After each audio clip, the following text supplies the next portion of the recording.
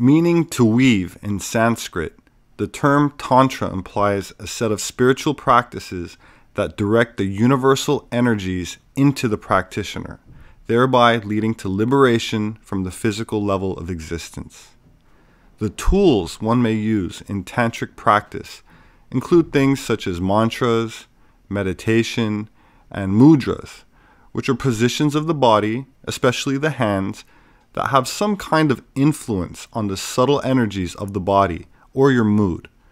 This is the real significance behind the Masonic hand gestures, which may be used as a subtle form of communication to other members, but in a more esoteric sense are employed in the harnessing and manipulation of energies, sometimes called chi, ki, orgone, prana, and vril. To put it in more practical and blunt terms, this energy is closely related to sex energy and is at the root of all mystery schools and religions. This universal energy is also referred to as light in many occult circles, with very high vibratory etheric properties, also called Lucifer, which is another term for light, or literally bearer of light.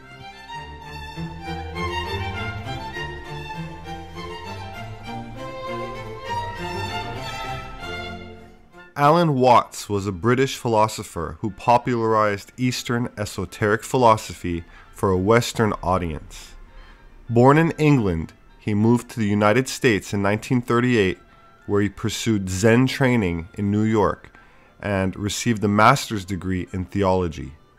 Watts went on to gain a large following, writing more than 25 books and articles, as well as recorded talks which still shimmer with a profound and galvanizing lucidity.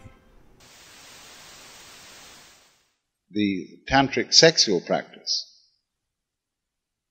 is allowing it to happen without forcing sexual relationship in any way.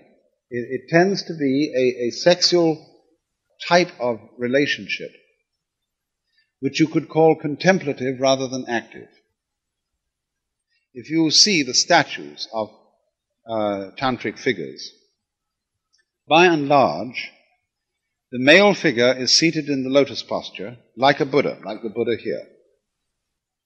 The female sits right on his lap, wraps her legs round his waist and her arms round his neck. And they touch at all points the mouth, the breasts, the sexual organs, the eyes looking straight into each other. But they're motionless. They're completely still.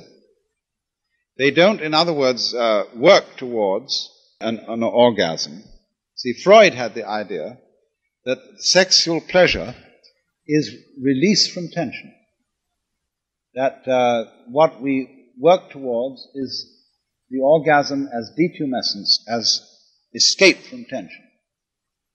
But many people would disagree most strongly with this and say that's part of it, but that it is just as wonderful for there to be tension without any attempt to escape from it. Maintain the tension.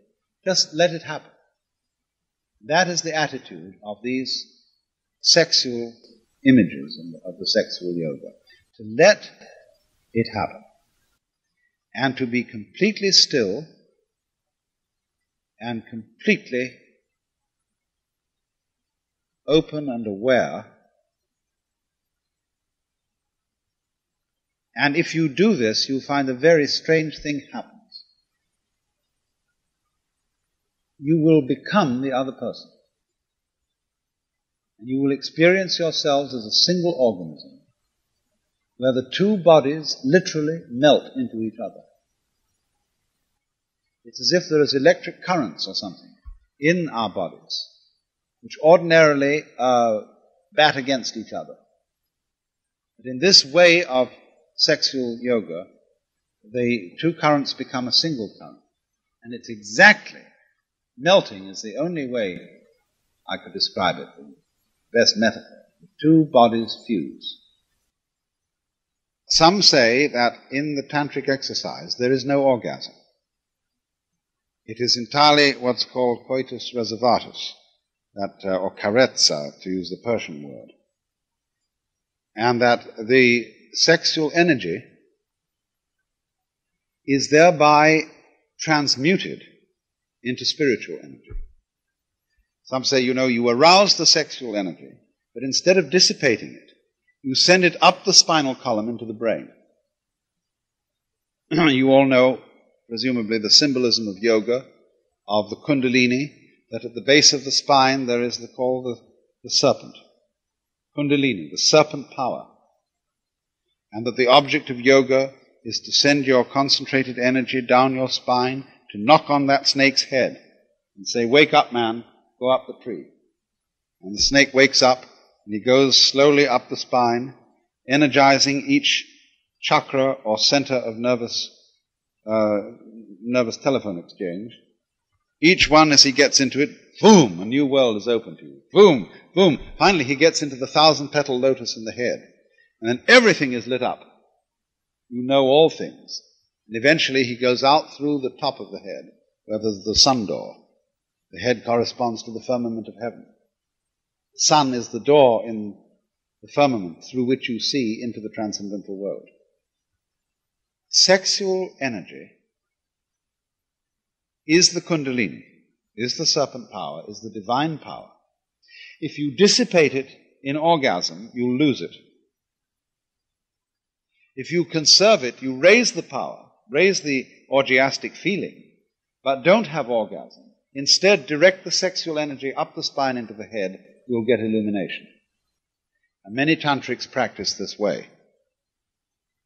They uh, uh, use the intense fascination of sexual arousal to be the instrument, the incentive for intense concentration on each other.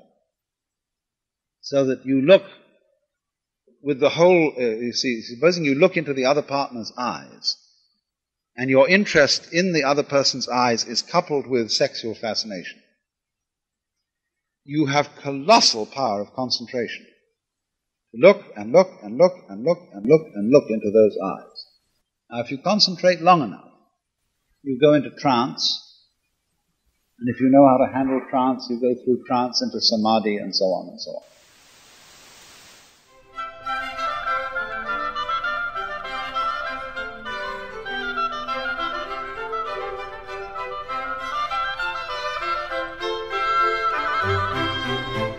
Samadhi is a state of consciousness characterized by clarity of perception and the absence of ego. It's the state of consciousness sought by all schools of meditation a piercing of the veils of one's own subconscious mind into the superconscious. It is in this ecstatic state that the phrase, as above, so below, reveals its guarded occult meaning, where an individual is said to be able to perceive or even influence events outside of himself or herself. Samael Aun Weor was a spiritual teacher and author of over 60 books of esoteric spirituality. He taught and formed groups under the banner of Universal Gnosticism or simply Gnosis. Born in Bogota, Colombia, he published a book entitled The Perfect Matrimony that claimed to unveil the secret of sexuality as the cornerstone of the world's great religions. That was a great initiative that uh, Master Samael Aun knew in South America, whose name was the Dr. Arnold Krumm-Heller, a great uh, physician, doctor from the University of Berlin. His inner name was Viracocha. Master Samael Aun mentioned Viracocha in his book, The Perfect Matrimony. And he said, This is the mystery of Baphomet. Instead of the coitus, which reaches the orgasm, sweet caresses, amorous phrases, and delicate touching should be lavished reflectively. keeping the mind constantly separated from animal sexuality, sustaining the purest spirituality as if the act were a true religious ceremony. Nevertheless, the man can and should introduce the penis and keep it inside the feminine sex to bring about a divine sensation upon both, full of joy, that can last for hours, withdrawing it at the moment the orgasm is near to avoid the ejaculation of semen. The transmission of magnetic fluids is ordinarily done through the hands and through the eyes.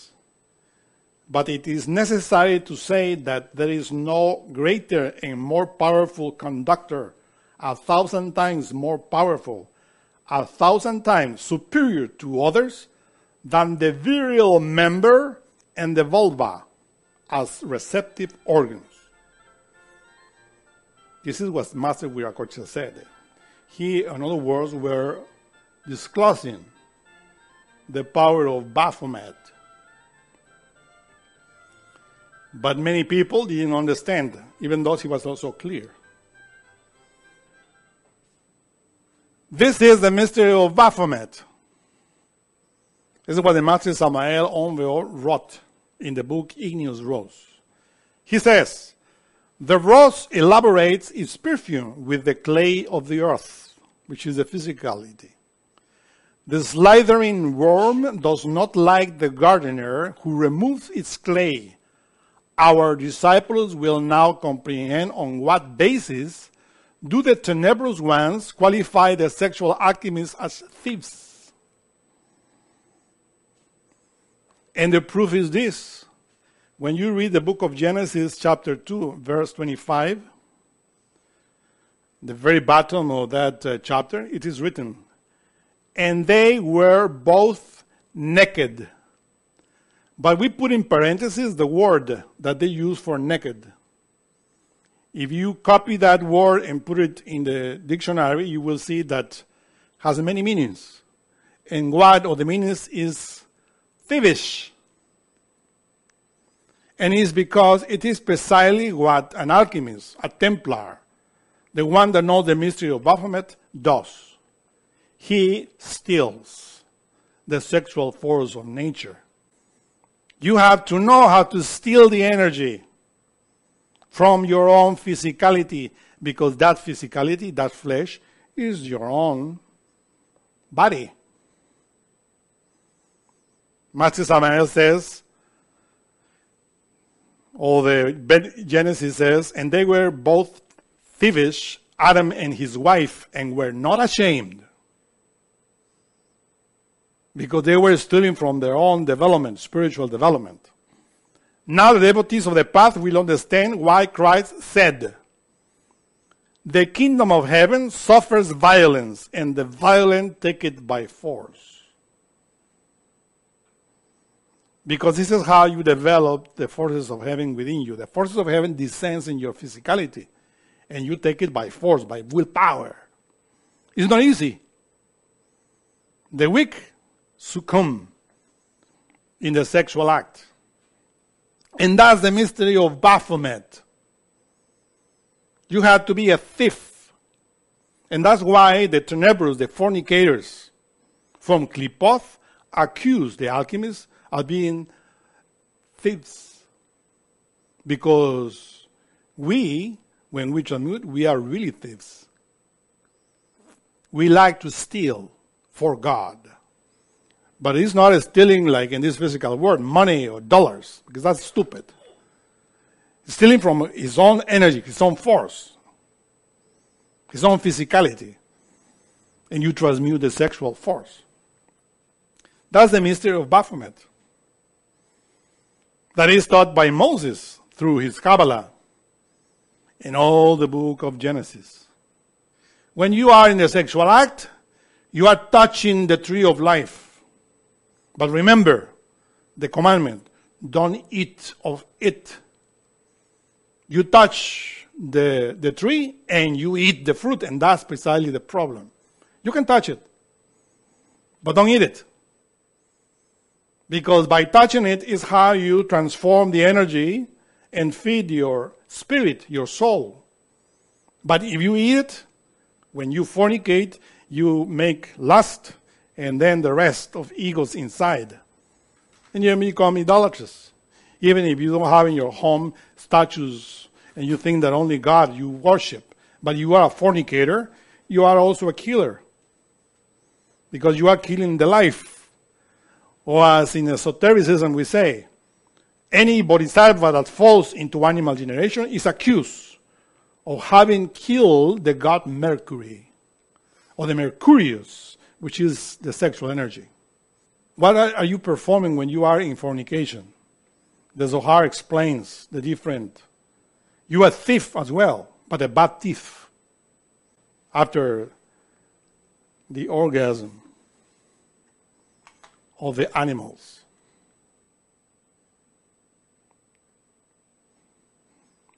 And the serpent said unto the woman, this is the next uh, graphic, Ye shall not surely die, for Elohim doth know that in the day you eat thereof, then your eyes shall be opened, and ye shall be as Elohim, knowing good and evil. But when you eat it as God, or with God, together with God, and you eat it, and then your eyes are open. But it's written that Adam and Eve, or, whether Eve tasted the fruit, which was the orgasm that they taste, and give it to the brain. And both saw that they were naked completely, without energy, without force. So we have two serpents here. The first is the tempting serpent, and the other is the, the serpent that gives life, which is the Kundalini. Humanity is following, of course, the tempting serpent.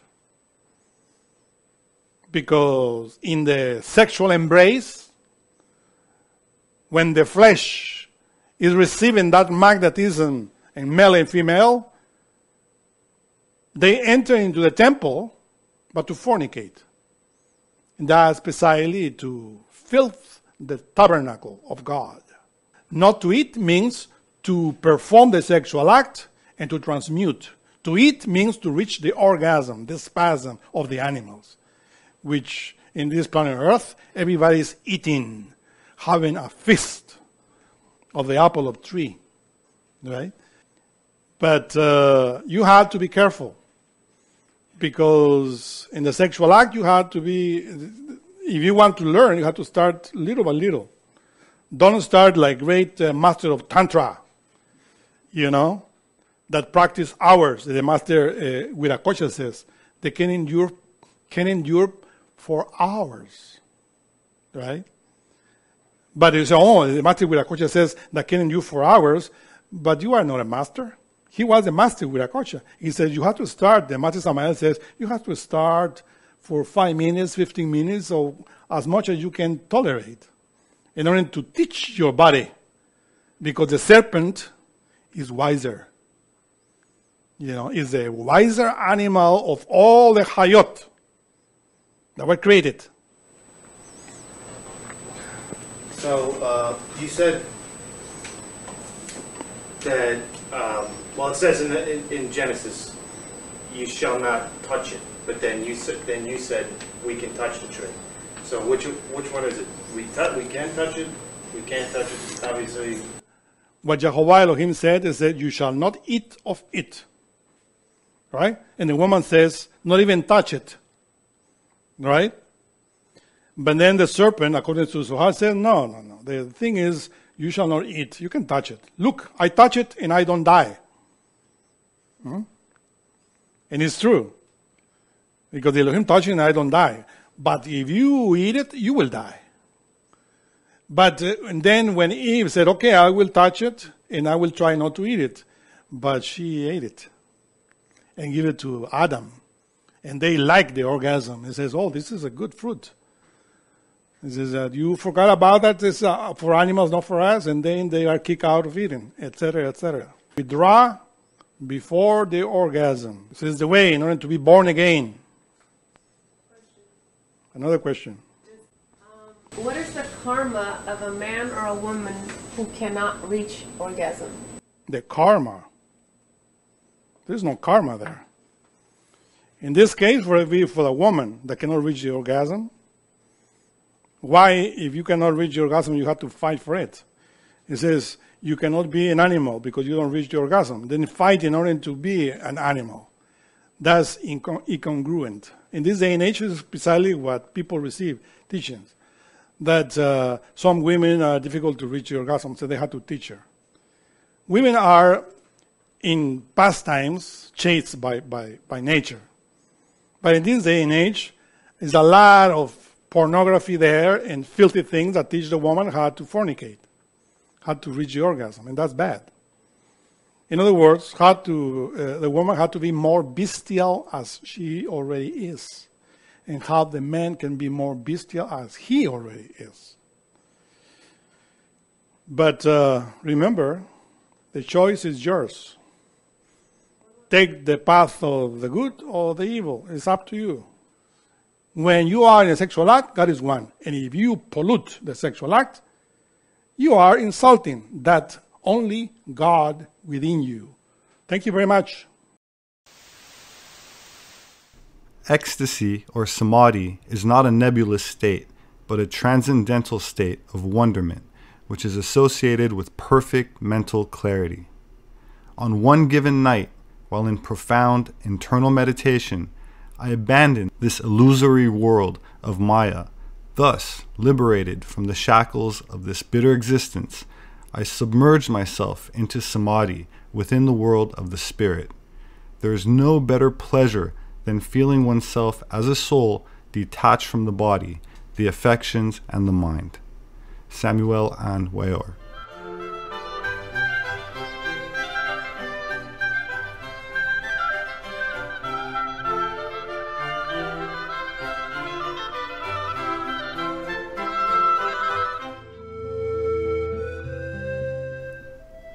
Wilhelm Reich was born on March 24, 1897, on a small farm in what is now the Ukraine. A student of psychology, at the age of 23, he became one of Freud's prized associates and began private practice as an analytic psychiatrist. As a pioneer in the study of human sexuality, he used novel experimental methods to examine, analyze, and measure various aspects of physical lovemaking. He concluded that the ability to love was dependent on one's physical ability to make love with what he described as orgastic potency, and coined the term orgone energy, as in the word orgasm or organism, to describe a biological energy that he claimed he had discovered or at least rediscovered in modern times. April 3rd, 1952. I, Wilhelm Reich, I happen to discover the life energy. I know what it means for the future development of medicine biology, philosophy and natural science. I'm fully aware of it. And in, these, in this awareness, I am completely alone. There's nobody here to listen to what I'm saying the recording apparatus is the only witness. I hope that someone will, at some time in the future, listen to this recording with great respect for the courage that was necessary to sustain the research work in orgone energy and life energy all through these years. It would appear that this seemingly high frequency, ether like energy may simply be an unrecognized form of bioelectromagnetism, a universal energy that the ancient Chinese culture called qi, the Japanese refer to as ki, the Sanskrit word for the same concept is prana, and ka is the Egyptian word for it. The ka was the ancient Egyptian concept of vital essence, which distinguishes the differences between the living and the dead, with death occurring when the ka leaves the body. And this resembles the concept of spirit in other religions. The Ankh is an ancient Egyptian hieroglyphic ideograph symbolizing life. And in some esoteric circles, Ankhing is a term given to the occult practice of directly working with this universal energy. In ancient Egypt, it was believed that the orgasm was the key to eternal life, and that vital life force was dissipated and lost with ejaculation. This is the true reason behind circumcision and vows of celibacy in the context of semen retention. Also, the cornerstone of Taoist and Tibetan Tantra, where an initiate learns to control the orgasm and therefore the flow of their sexual energy up instead of out. They believe that if this energy is controlled, the human orgasm becomes a source of infinite pranic or vril energy that is not lost. Vril is the term used by the German Vril Society, which was formed well before World War II and dedicated to the study and practice of metaphysics, covertly conducting research into psychic phenomenon and this universal energy. Their secret society members, which included some who would later become notable members of the Nazi Party, were said to have allegedly ended up in Antarctica by the end of World War II.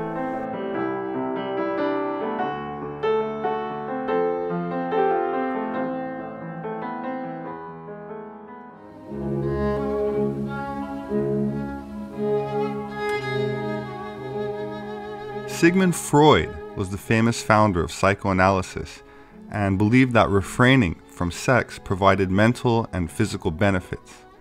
According to his biographer, Ernest Jones, and I quote, Freud held the opinion, based on personal experience and observation, that sexual activity was incompatible with the accomplishing of any great work. Since he felt that the great work of creating and establishing psychotherapy was his destiny, he told his wife that they could no longer engage in sexual relations.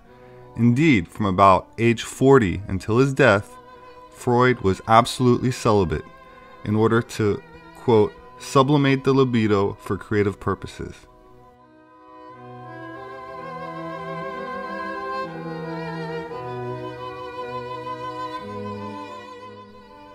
Sir Isaac Newton, scientist and mathematician, was a lifelong celibate who was believed to have died a virgin. In a letter to philosopher John Locke, he writes, and I quote, The way to chastity is not to struggle with incontinent thoughts, but to avert the thoughts by some employment, or by reading, or by meditating on other things. According to this BBC article, Nikola Tesla, legendary scientist and inventor, quote, believed that celibacy spurred on the brain.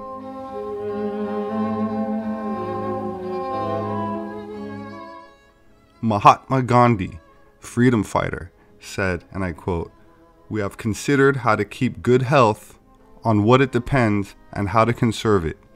If all men always followed the rules of health and observed unbroken celibacy, the chapters of this book that follow would not be necessary because such men cannot possibly suffer any physical or mental illness. Michelangelo's contemporary, Ascanio Condivi, who was also his biographer, described Michelangelo as having, quote, monk like chastity.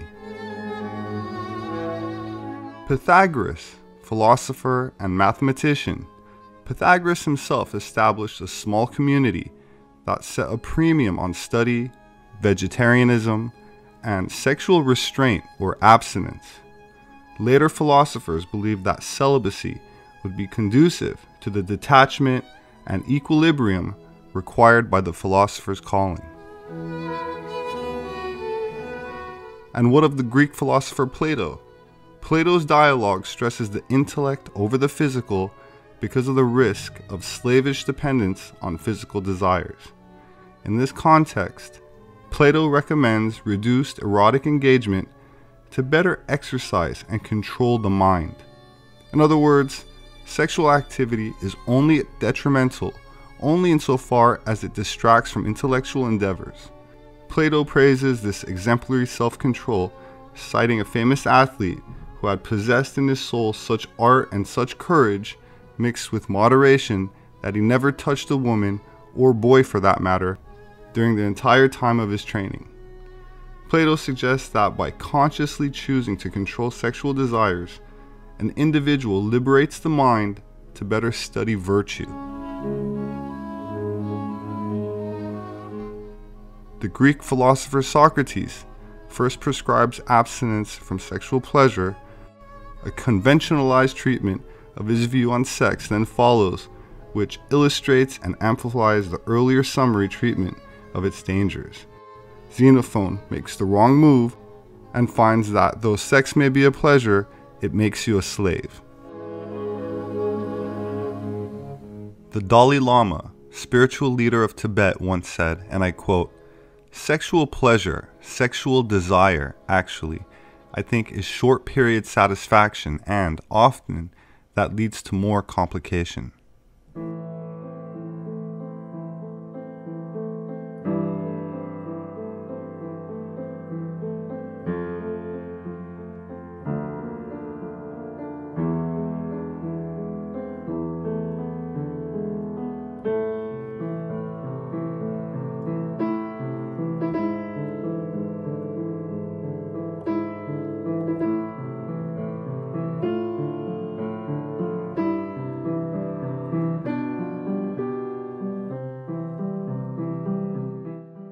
Following excerpt is from chapter 11 of a book authored by Napoleon Hill called Think and Grow Rich about the transmutation of sex energy.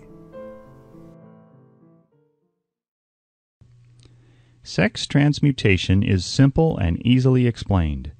It means the switching of the mind from thoughts of physical expression to thoughts of some other nature.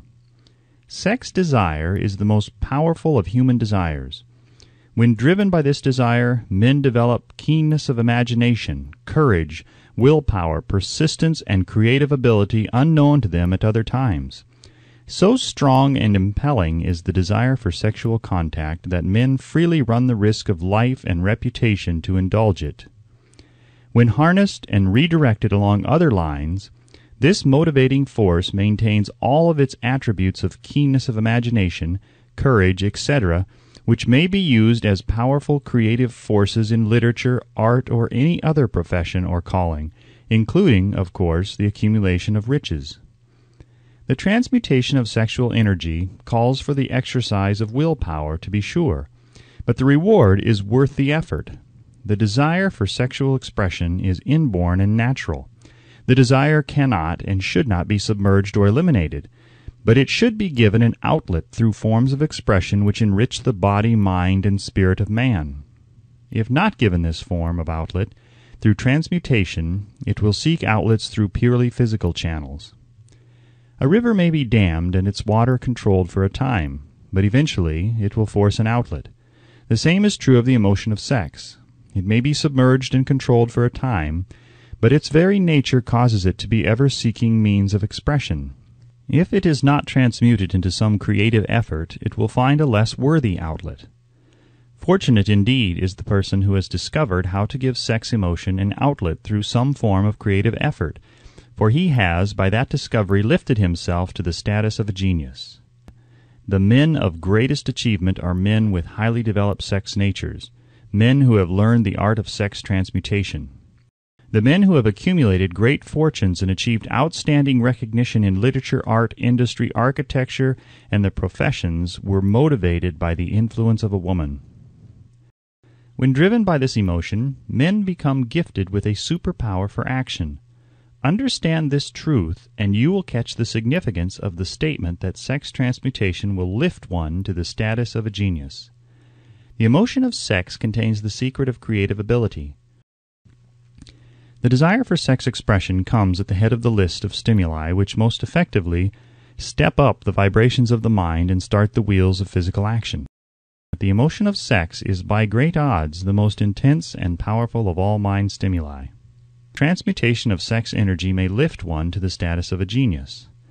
A man who has discovered how to increase the vibrations of thought to the point where he can freely communicate with sources of knowledge not available through the ordinary rate of vibration of thought.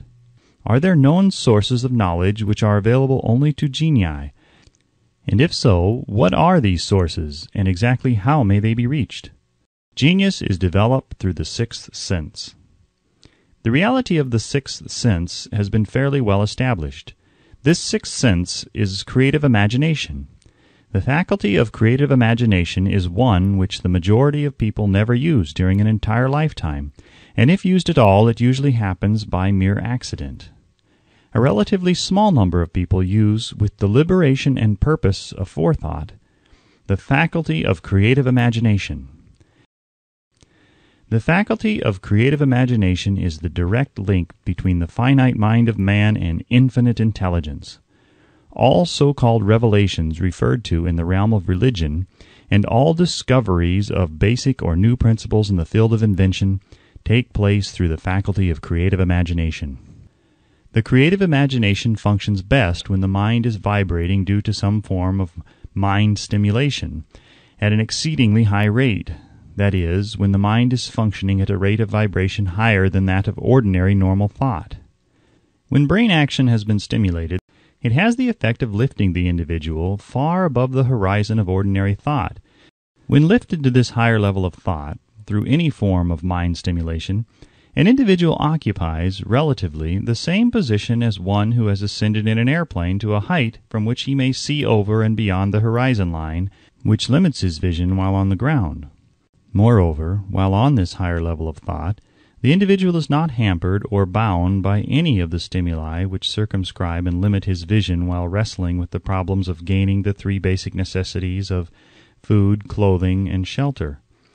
He is in a world of thought in which the ordinary workaday thoughts have been as effectively removed as are the hills and valleys and other limitations of physical vision when he rises in an airplane. While on this exalted plane of thought, the creative faculty of the mind is given freedom for action.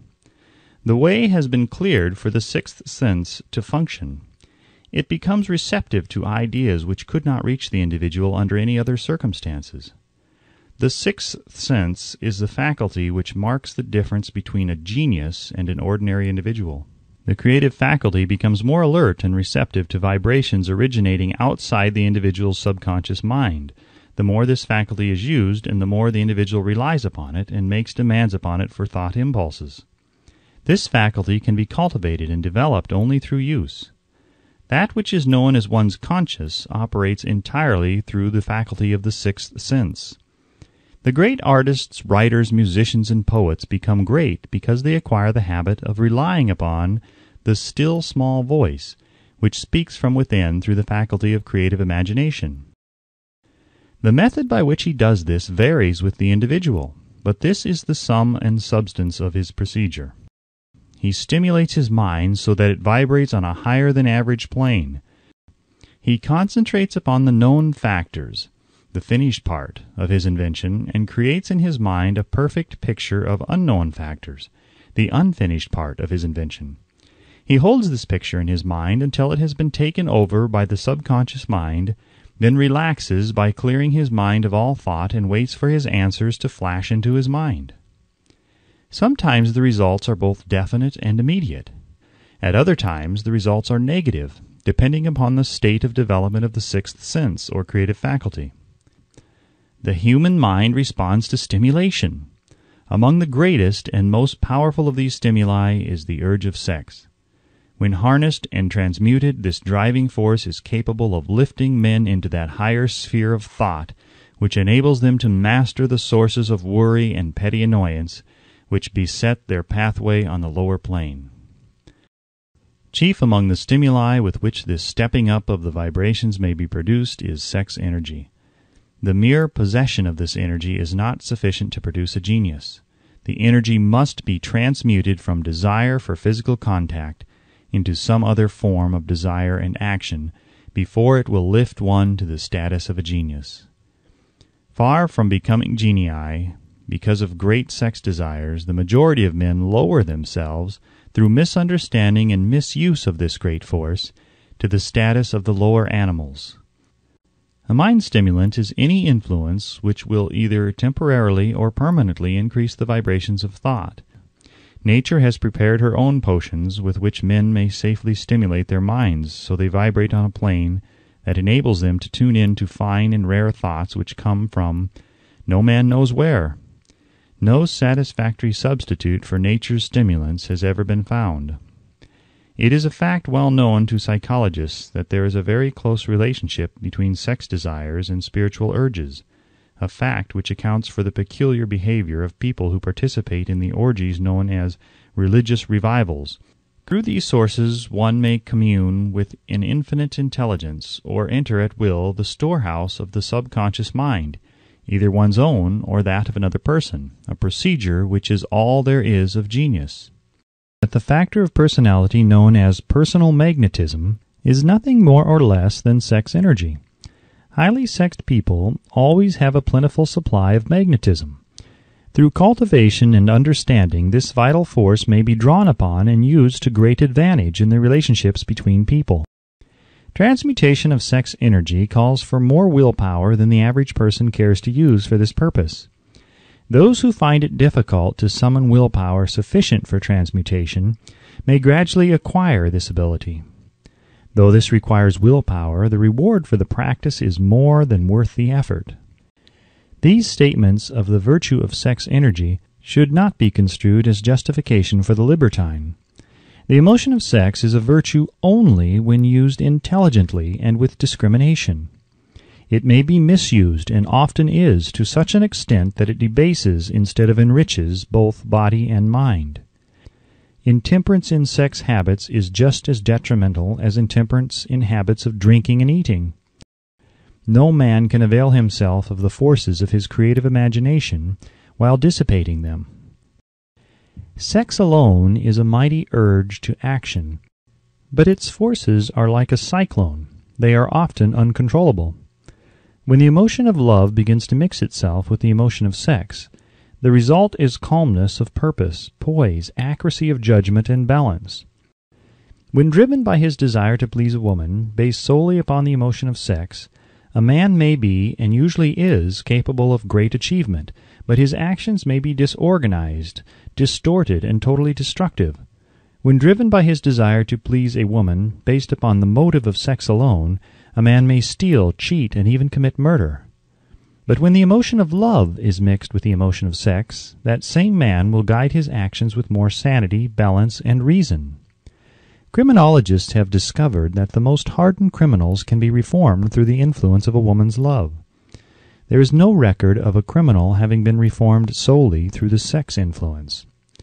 Love, romance, and sex are all emotions capable of driving men to heights of superachievement. Love is the emotion which serves as a safety valve and ensures balance, poise, and constructive effort. When combined, these three emotions may lift one to an altitude of a genius. The emotion of love brings out and develops the artistic and aesthetic nature of man. It leaves its impress upon one's very soul, even after the fire has been subdued by time and circumstance. Memories of love never pass. They linger, guide, and influence long after the source of stimulation has faded. There is nothing new in this.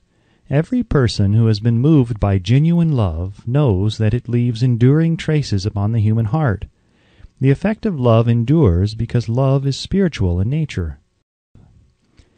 Even the memories of love are sufficient to lift one to a higher plane of creative effort. The major force of love may spend itself and pass away, like a fire which has burned itself out, but it leaves behind indelible marks as evidence that it has passed that way. Its departure often prepares the human heart for a still greater love. Go back into your yesteryears at times, and bathe your mind in the beautiful memories of past love. It will soften the influence of the present worries and annoyances. It will give you a source of escape from the unpleasant realities of life, and maybe, who knows, your mind will yield to you, during this temporary retreat into the world of fantasy, ideas or plans which may change the entire financial or spiritual status of your life. If you believe yourself unfortunate because you have loved and lost, perish the thought. One who has loved truly can never lose entirely. Love is whimsical and temperamental. Its nature is ephemeral and transitory. It comes when it pleases and goes away without warning. Accept and enjoy it while it remains, but spend no time worrying about its departure. Worry will never bring it back. Dismiss also the thought that love never comes but once. Love may come and go, times without number, but there are no two love experiences which affect one in just the same way. There may be, and there usually is, one love experience which leaves a deeper imprint on the heart than all the others. But all love experiences are beneficial except to the person who becomes resentful and cynical when love makes its departure. There should be no disappointment over love, and there would be none if people understood the difference between the emotions of love and sex. The major difference is that love is spiritual, while sex is biological. No experience which touches the human heart with a spiritual force can possibly be harmful, except through ignorance or jealousy. Love is, without question, life's greatest experience. It brings one into communication with infinite intelligence. When mixed with the emotions of romance and sex, it may lead one far up the ladder of creative effort. Marriages, not blessed with the eternal affinity of love, properly balanced and proportioned with sex, cannot be happy ones, and seldom endure. Love alone will not bring happiness in marriage, nor will sex alone. When these two beautiful emotions are blended, marriage may bring about a state of mind closest to the spiritual that one may ever know on this earthly plane.